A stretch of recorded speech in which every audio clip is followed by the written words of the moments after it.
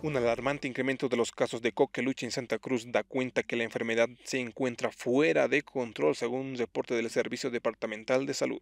La situación más preocupante es la de un bebé de 10 meses que se encuentra en terapia intensiva. El brote ha tenido uno de sus principales eh, lugares de protagonismo en el municipio de Pailón, donde se han presentado tres casos positivos de una misma familia, tres hermanos, y de los cuales un bebé lamentablemente perdió la vida. En la situación de los internados, tenemos tres internados por la enfermedad de la coqueluche y un bebé internado en terapia intensiva intubado por esta enfermedad en uno de los hospitales de la ciudad.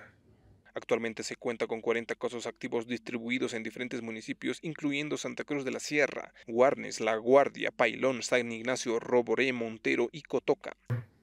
183 casos de coqueluche en el año